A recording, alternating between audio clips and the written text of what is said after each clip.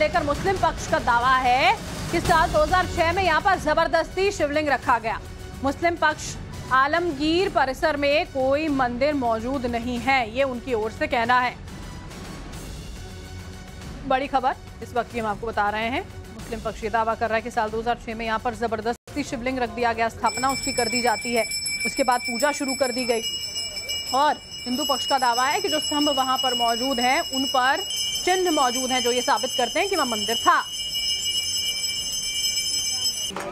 मंदिर नहीं है एक्चुअली क्या था कि 2006 में वहाँ पर लेकिन कोई भी आ, जाके देखेगा तो वो तो नंगी आँखों से दिख रहा है कि वहाँ शिवलिंग है। नंगी आँखों से जाके देखेगा लेकिन इतिहास भी है कोतवाली में त्योहार रजिस्टर मौजूद है उसमें रिकॉर्ड्स मौजूद हैं वो रिकॉर्ड कहाँ चले जाएँगे?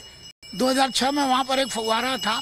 फुवारे का ऊपर था उसका आकार दूसरा था वो गिर गया। उसमें ज़बरदस्ती आप फोर्सिबली वहाँ कोई चीज़ लगा दें फिर एक समझौता कर लें कह रहे भाई ठीक है चलिए हम हमारा एक, हम लोगों ने भी कहा कि चलो भाई ठीक है इनकी आस्था है इनको रहने दो ऐसे करते हैं।